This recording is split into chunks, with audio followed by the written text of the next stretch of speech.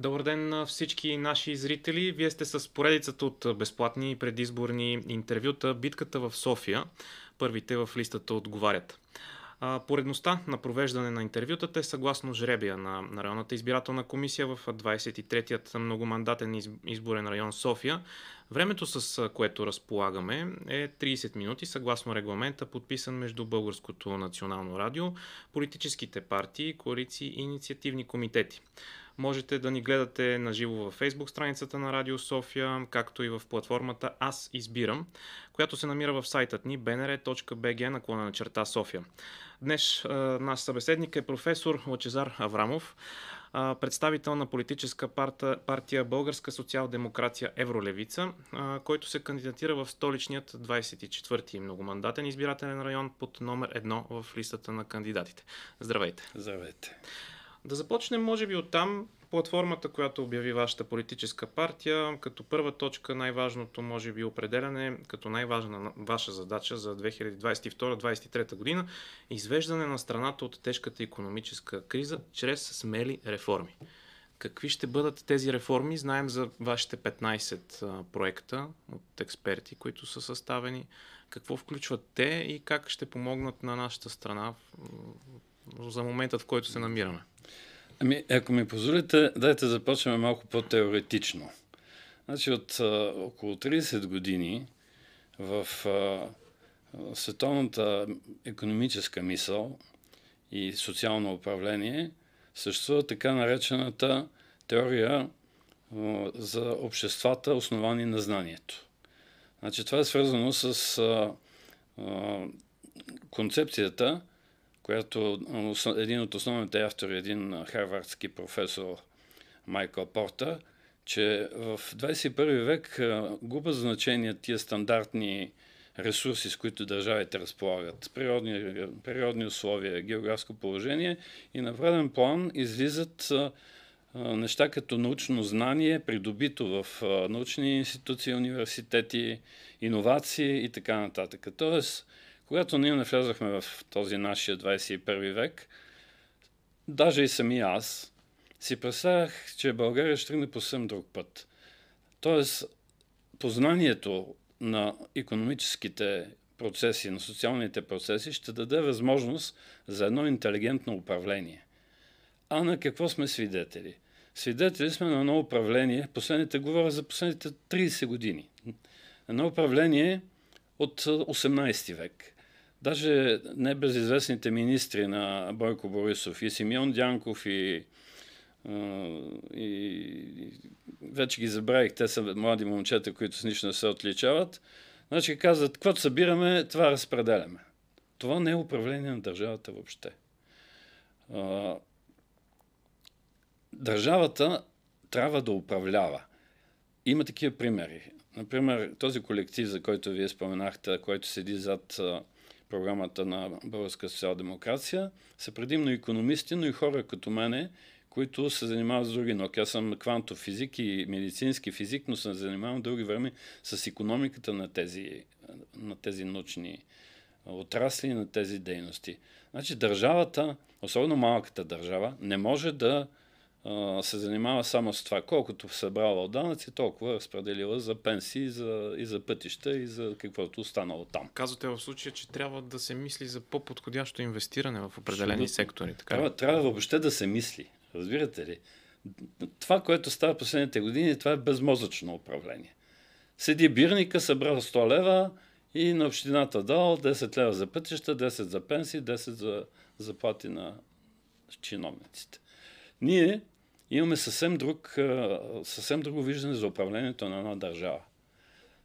Особено така сравнително малка държава не може да инвестира във всичко едновременно. Големите държави това могат да го правят. Това, като Япония, Съединените щати, Русия, Германия, могат те и са длъжни да, да инвестират и да стимулират всичко, което се случва в държавата. В България принципът е такъв интелигентно, целево финансиране на важни неща. И ето тази програма, която представя българската социал-демокрация, е изградена така. Тук са определени 15 проекта, които са милиардни проекти. зад които съдат реални възможности. За някои съдат чужестранни инвеститори, за други съди възможността за създаване на публично-частно партньорство. Във всеки случай това са обмислени неща, които почиват на обективните възможности на самата държава и на потенциалните възможности, които може да получим отвън. Който, който се интересува от детайли, може, разбира се, да погледне и в интернет страницата на партията Българска социал-демокрация. Но аз ще спомена само няколко и то така, които дават общия облик на нещата. Например, всички знаят, че като отидете в магазина и виждате, че 5% от доматите са български. Това е абсурд. България има такова географско положение и, и такава аграрна история, че най-хубавите домати винаги са били български. И това го знаем ние. И моето поколение, и вашето поколение. Сега Внасяме. Всичко се внася. Значи, това е абсурд. От какво се получава това нещо? Само от политика. Само от политика. Това се получава от липсата на политика в определени сектори. Животновътство, лека промишленост и е, толерирането на, примерно, зърнопроизводство и износ на зърно. Износа на зърно не е лошо нещо, обаче то е с ниска норма на печалба и въпреки, че там са олигарси и милиардери, това е за сметка на огромните количества. Казахте зърно. Ето сега наскоро имаше точно проблем с зърното. Зърнопроизводителите, които скочиха на протест заради вноса на украинско зърно. Да, но тези зърнопроизводители скачат на протест, защото са им нарушени интересите, ама те могат и да се качат на самолетите си, на и на Ролс-Ройсите си да се наредат тук да, да протестират. Значи тези, тези е, селско-стопански суровини, които България изнася, могат да бъдат използвани много по-рационално, като се произвежда продукция и се продава не с 1% норма на печалба, а с 20% норма на печалба. Освен това, трябва да се инвестира в такива сектори, като овощарство, като производство на плодове, като производство на животински продукти, защото там печалбата е голяма. Вместо да внасяме ние всякакви такива продукти, можем да изнасяме. И колегите економистите са разработили там специална програма. Счита се, че ако се създадат, а да не говорим пък за природните условия на България, което, което дава възможност това да бъде и био, биопродукти да се продават. Биопродуктите са още по-скъпи има глад за такива продукти, в, особено в богатите страни и особено в европейските страни. Добре, аз лично от моя гледна точка винаги съм си мислил, не е ли достатъчно първо производителите, българските производители да бъдат стимулирани, за да задоволят нуждите на нашата страна, да. а не да бъдат подтиквани а, да изнасят продукцията си, за да могат да генерират докъде добри печалби. Така е, напълно сте прав, но създаването на, на, такъв, на такава програма, тя създава и работни места в, в, самата, в самата програма. Значи тези био, да речеме малки и средни предприятия за, за производство на биопродукти, те ще ангажират хора. Това са наши хора. Това са хора, голяма част от тях са с опит. Това ще оживи а, умиращите ни села. Значи, тази програма е изградена върху концепцията, че всеко действие трябва да бъде съгласувано с другото. Всеки проект трябва да бъде съгласуван с другия проект, защото те по този начин дават така наречения синергичен ефект. Тоест, ако вложите 2 милиарда, ще получите 3 милиарда, ама ако ги направите умело, ще получите 50 милиарда от, от една инвестиция, примерно 15-20 милиарда, която се предвижда в тези програми. И тази програма е така направена.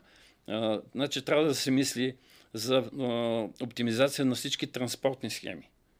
Защото това е голям проблем. Примерно на река Дунов преди години има един град Лом, където аз имам така родствени корени – това било изведен, така нареченото Софийско пристанище. От град Лом е пътувал така наречения мазен влак.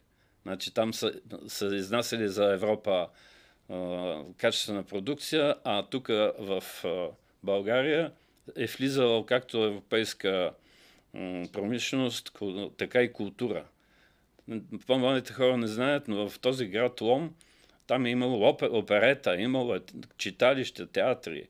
Сега е превърнат в една запазваща област, как цялата северо-западна България. Тоест, нашата идея е активно въздействие на държавата върху економическите процеси, като това разбира се няма нищо общо с национализации, създаване на държавни предприятия или доколкото могат да бъдат създавани с публични средства държавни предприятия, те след това се продават. Тоест, те пак се приватизират. Тоест, държавата трябва да има активна, активна роля. Ето пример. Освен това не е нужно да измисляме всичко. Хората по света го правят. Като бях преди 40 години докторант, понеже съм физик, работих с апаратура на Nokia. Това, тогава беше, се появи за първи път хубава електронна апаратура на Nokia. До тогава Nokia беше фирма за производство на гумени бутуши и туалетна хартия. Значи изведнъж само за 10 на 15 години Nokia стана огромен концерн в най-прогресивните области на електрониката. Имаше период, когато тя доминираше в мобилните телефони. Това нещо става само с помощта на държавата. Тук в една от точките казвате, че гарантирате, че ще доведете до повишаване на растежа на БВП до 6-7 на 100 годишно. Казахте за тези инвестиции отвън или тук вътре, но а, не е ли това спънката във вашата програма? Сигурни ли сте, че ще набавите тези инвестиции, които са ни нужни, за да преинвестираме, за да се случи това, което обяснявате до момента? Значи, като изключиме ситуацията с COVID и с войната, които препятстват инвестициите. Разбира се, не може да не се съобразяваме с това. Светът е гладен за инвестиции. Има много свободни пари. Непрекъснато има и, и към хора от, от, наши, от, от този економически екип има предложения. Непрекъснато има предложения. Китай е изключително голям инвестиционен партньор и инвестиционни възможности. На, на всичкото отгоре той ги реализира тук, в Гърция, в Сърбия, тук, в България не. Значи България основният проблем е малумното управление. България си има всичко. Има си природни ресурси, има все още известни, известно запазени квалифицирани специалисти, но и липсва управление. Управлението се прави въз основа на наука, економическа наука и въз основа на опит, наш и чужд. Тази програма се опитва да представи, да конкретизира именно тези съвременни подходи в управлението.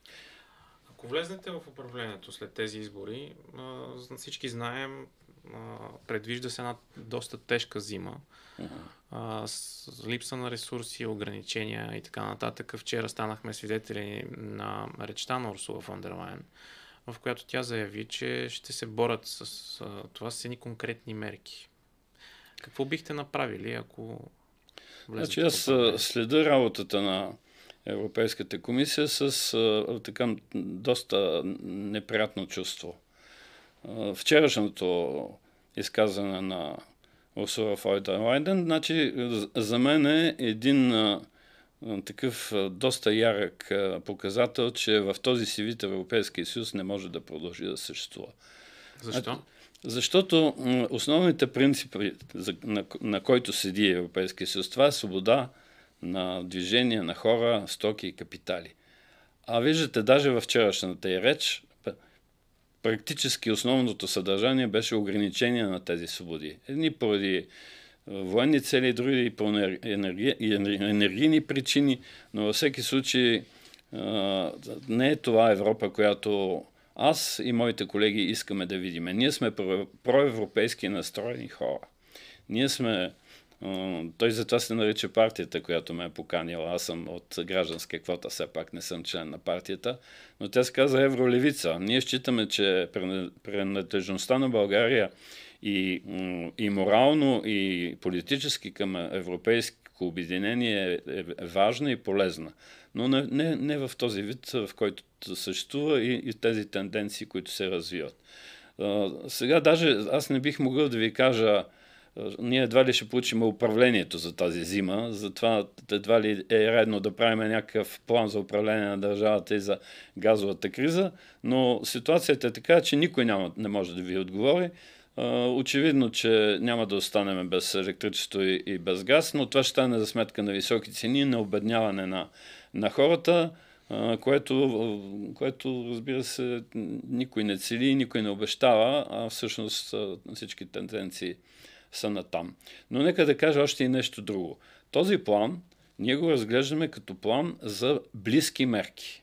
Тоест България, благодарение на тези 15 на проекта, а, така мащабни, целеви, локални, държавата трябва да се управлява по друг начин. Например, ние предвиждаме, ако имаме това влияние, да преструктурираме Министерски съвет. Например, да се създаде Министерство на науката и иновациите.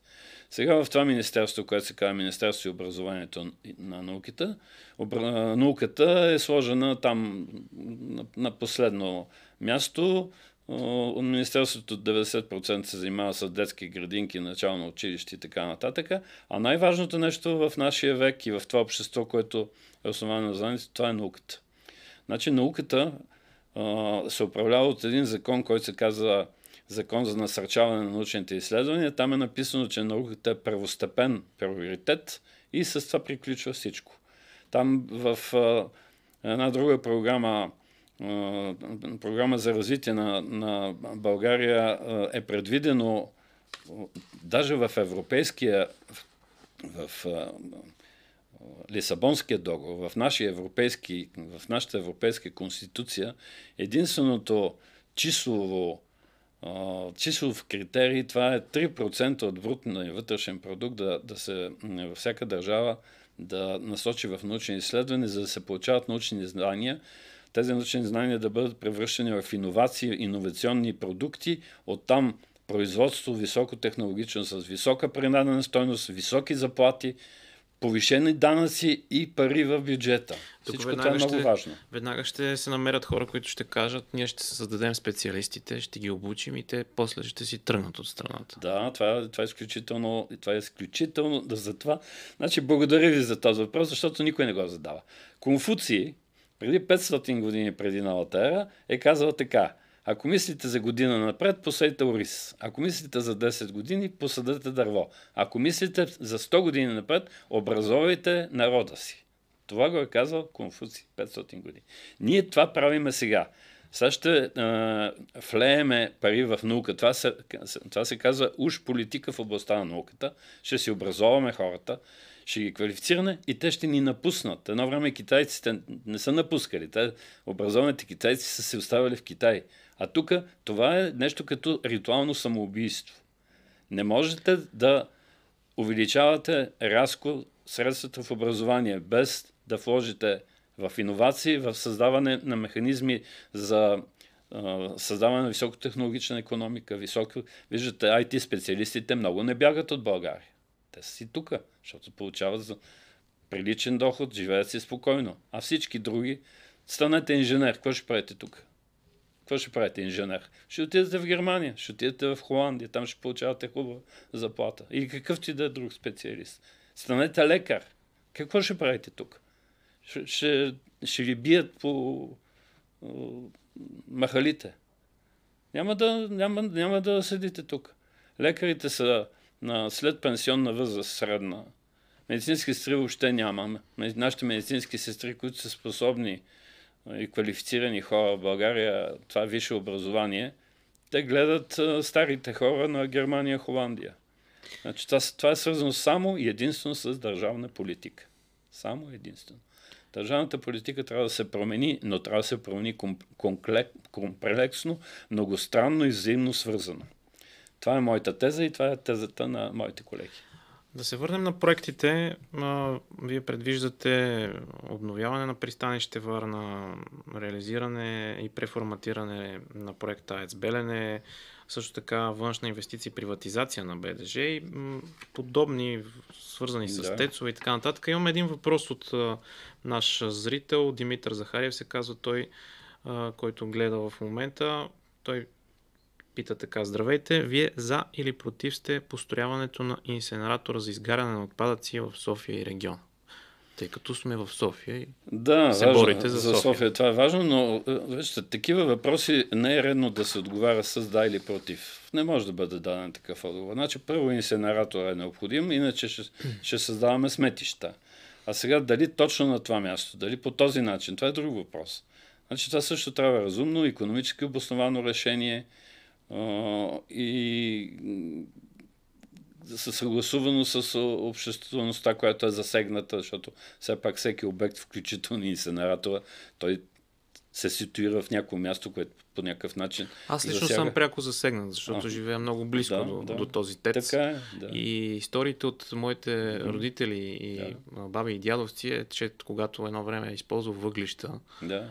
и също не е било много приятно. Абсолютно. Защото когато изпуска мощности, всички така. са бягали да се крият. Напълно сте прав, да. Но, но, е въпрос на оптимално и екологично и социално така подходящо решение. Иначе да или не, такива, такива, отговори не бива, такива отговори не бива да се дават. Иначе хората могат да питат всичко. Въпросът е, че има някакво да, решение да, за него. Да, за това да, разбира се. се задава този въпрос. Да, така е, така е. Така, а иначе става дума за пристанищата, споменахте. Значи това е аз съм свидетел как се разви а, Порт Варна и Порт Констанца. Как а, а, се развива нещо, което е абсолютно изоставено на произвола на съдбата и как се развива нещо, за което се а, полагат грижи и, се, а, и инвестиции и, и разум.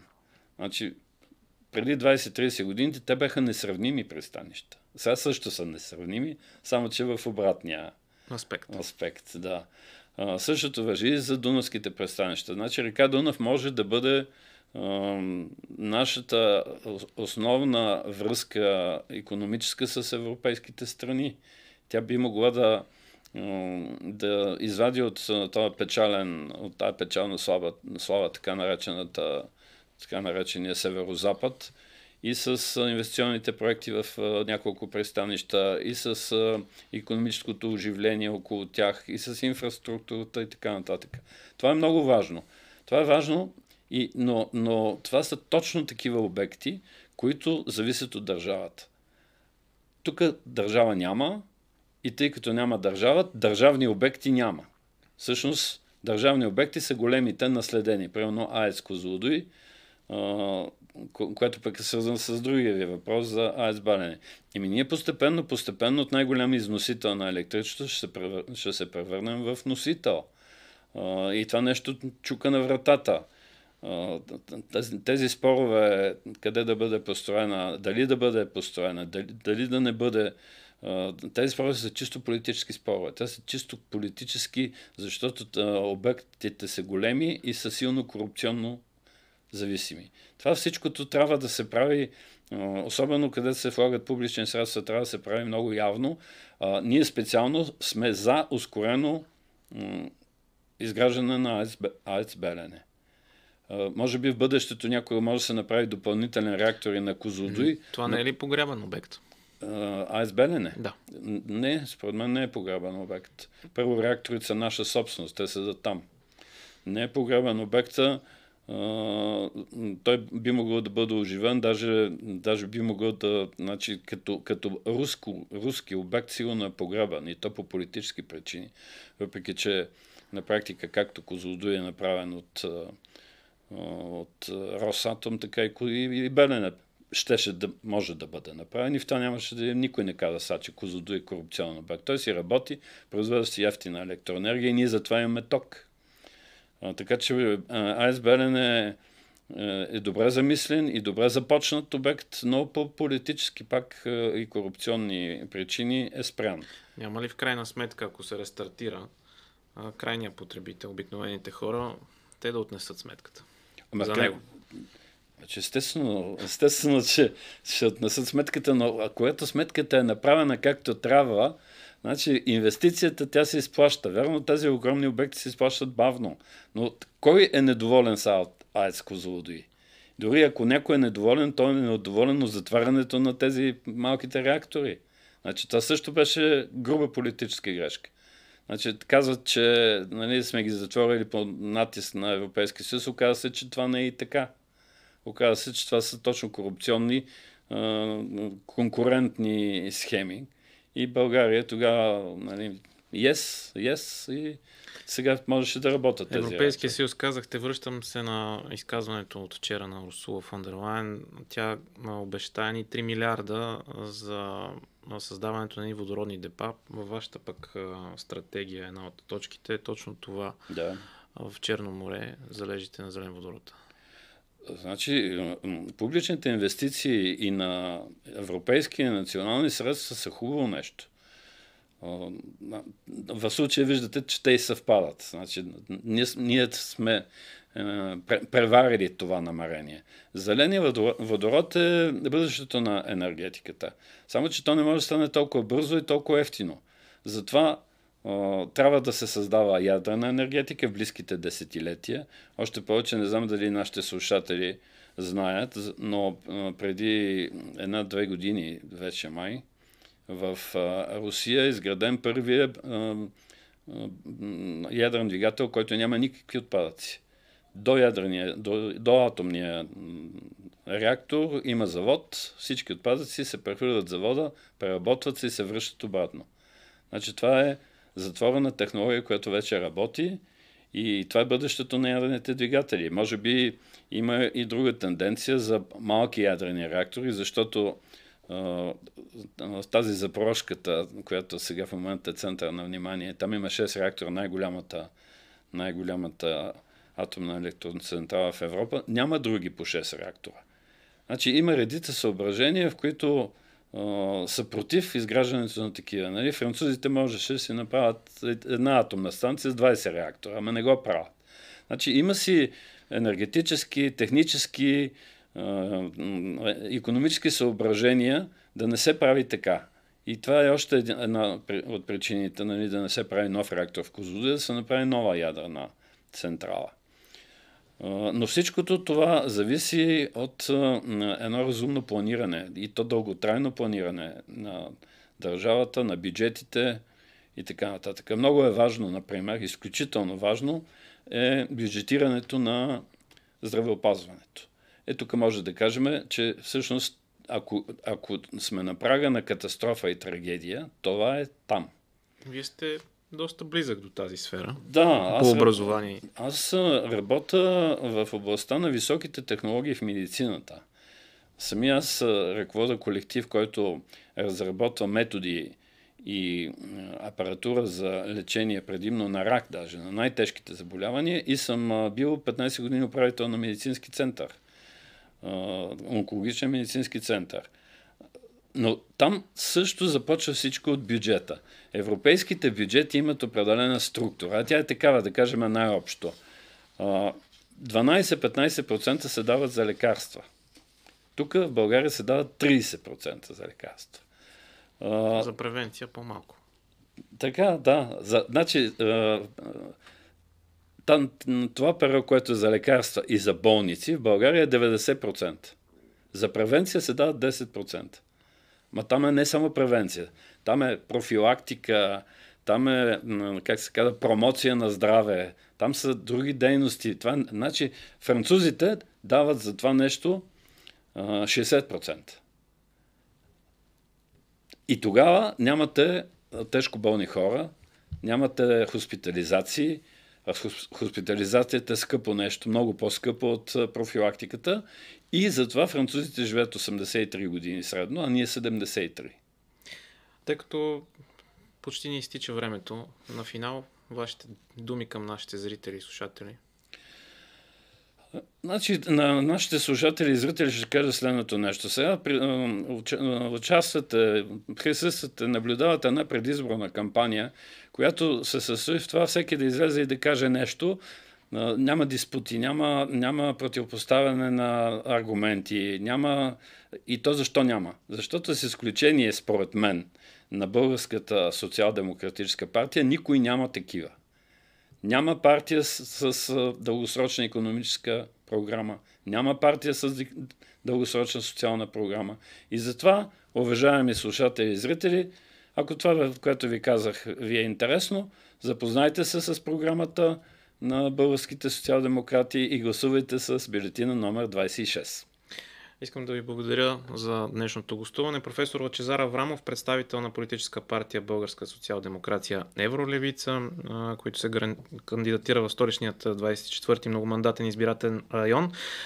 Това беше едно от многото събеседвания тук пред вас, скъпи зрители, от поредицата безплатни предизборни интервюта, битката в София, първите в листата отговарят, поредността на провеждане, която е избрана на провежданите интервюта от районната избирателна комисия в 23-я многомандатен изборен район София.